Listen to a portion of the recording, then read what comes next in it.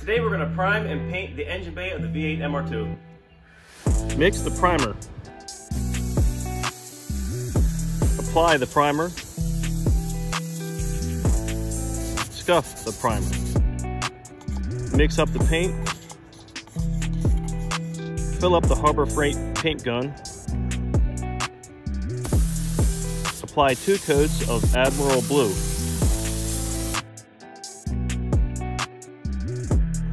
Check out these results.